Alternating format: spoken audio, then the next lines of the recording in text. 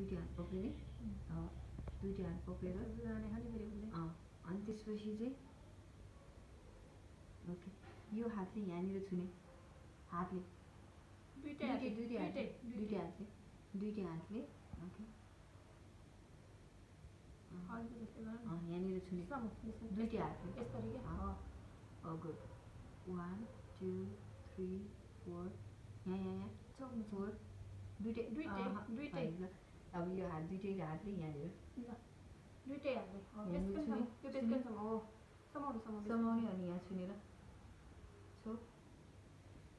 यस्तो भएको छैन नि त तिम्रो मिक्स गर